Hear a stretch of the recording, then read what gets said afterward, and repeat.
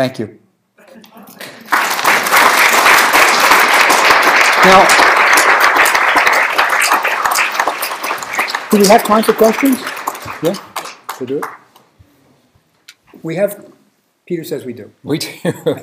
we, we also have a reception right next door, so I welcome you to join us there too. But I think we have time for a few questions here for Bob and that fascinating lecture. Thanks. Any questions? George? Is, is there any Arab equivalent of Western Egyptomania? Is there any Arab equivalent of Western Egyptomania? No, there really isn't. Um, and I think it's, I, I can explain it in a, in a kind of simple minded way, but I think it's right.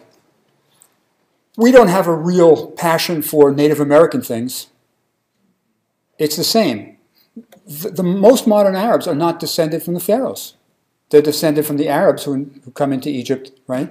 So, so it's, it's like us. It's not their heritage in an, an important sense. I mean, the closest we have, of course, are Egyptian Egyptologists. But, but, but in general, no, there's not, there's not a parallel.